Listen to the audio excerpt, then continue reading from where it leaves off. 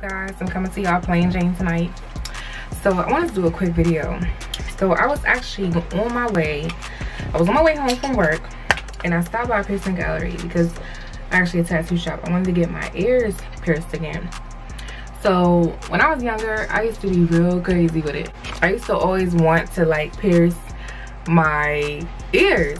And over the years i've always this has always been here for years. I haven't taken this out since my daughter was like she's 13 now so this has not been out for a while.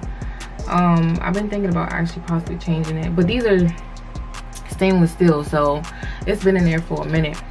And i have i didn't pierce them like close to the bone. It was like on the fatty part on the outside and all the way down my ear. So the very last piercing i ever did was right here in the middle.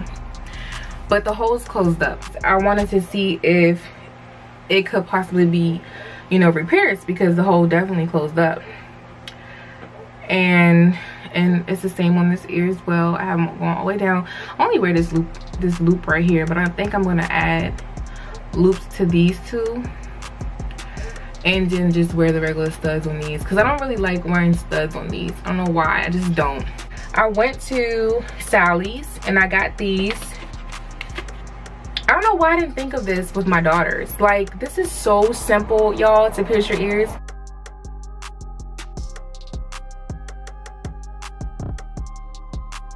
I literally just re-pierced my ears myself right here in the middle.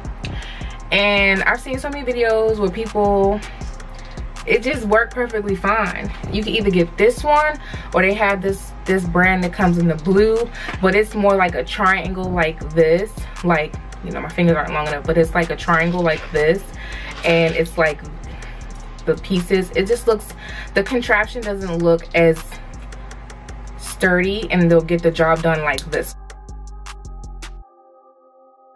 So i don't i don't really trust the other one unless you are just like really good with it but this one is more like to the point so i just did this one and i was like oh my god let me turn the camera because i can't believe i did it. Like when i did all these piercings you guys i used to do them with needles. Like i didn't do all of this. Like i was just weird back then. I don't know. I'm getting ready to actually re-pierce the other ear. And i don't need a guide. I mean it's pretty like you put it on it's and it has like this little that will kind of like I don't know. I, you can use this as a guide if you measure. So if you put it on your regular part of your ear, you can kind of like, you know, kind of put the dot and then kind of guide it. Since it's already on this part of the ear on the inside, my the back of my earlobe automatically touches this part right here. So, and I still have the the hole there, as you can see right here. It's just that the back of it closed so nothing can push through. Let me just look at the mirror real quick and make sure it's definitely not moving through that little indentation. Yep, it's there. And yeah, making sure it's there. I'm gonna hold it straight. Oh my gosh, I can't believe I'm about to do this again. You can hear it before I do this. It comes with like these little springs in it. Like you can see it. Once you get it all the way like back, it's gonna stop.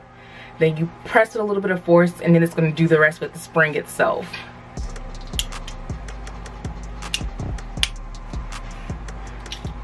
And it's gonna click, oh my gosh. The little back head is gonna pop off. The plastic part is still there, but it breaks in half as it's placed in your skin. Like the plastic part breaks off of the earring as it snaps in. But the earring is pretty much on this thing here. I'm gonna show you.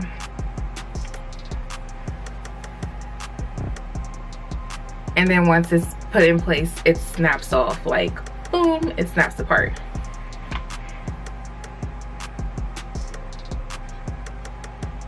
And it's on there. Oh my gosh, I can't believe I just did this again so yeah and it actually it actually did not hurt this time when i first did it years ago with just a plain needle i don't know my tolerance was like really high back then. So when I first did it, it hurt like hell with a needle. I'm not gonna lie. But this feels just the way it, actually this, this is probably better than even going, okay, first of all, let me just make sure I use my words wisely.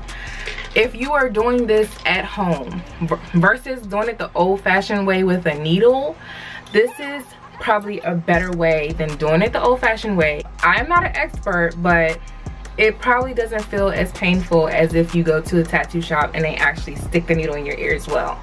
That seems a little bit more painful. So this was so much better. It has the directions on the back. I know when my daughters got their ears pierced, I took them to Claire's because I wanted them to have the experience. But now they keep telling me, oh, I might want my ears pierced again. I I'm gonna be honest, I don't really want my kids to go all out like I used to do and get all these piercings. Um, of course you always wanna strive for your kids to be different and have high standards than you, but they are still human and they're gonna go through their own, you know, life experiences. But um, so far my kids have two earrings. If they ever came to me again and said, mommy, I want one more pair of earrings, I would definitely do it myself um, with these. Gold, of course, looks better on my skin, but anything that's like silver or stainless steel, of course, is always cheaper than gold. So that's why I always gravitate towards like if anything stainless steel. I gravitate towards stainless steel because silver is not that expensive. However silver is more like a platinum type of color to me. Like it's really it's brighter. And stainless steel is kind of like grayish and dull. So i kind of like the fact is that it's it's not so bright in texture if i make any sense. Like this one is stainless steel too in my nose but as you can see it's brighter than the stainless steel that's in my ear. So I, always want it to be a little bit darker stainless steel if i'm gonna get that. This was only like $6.99 at sally's for two earrings. So if my daughters come to me and they say, oh, I want to get another set, it's kind of like, oh, whoa there. you know, that'll be going in the three, but that's where I draw the line, maybe three.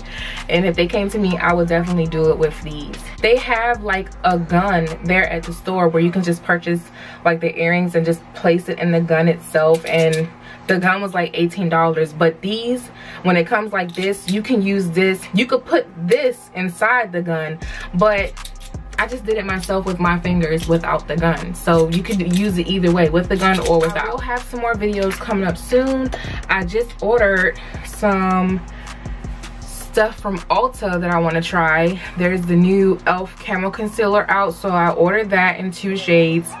I ordered some more of this. You guys already saw me do, do a video with this, mixing it with my foundation. I might try to mix it with like a different foundation other than the one I did in my last video just to see if I get the same you know, consistency as I did with the other foundation. If you took time to watch this video again, thanks for watching.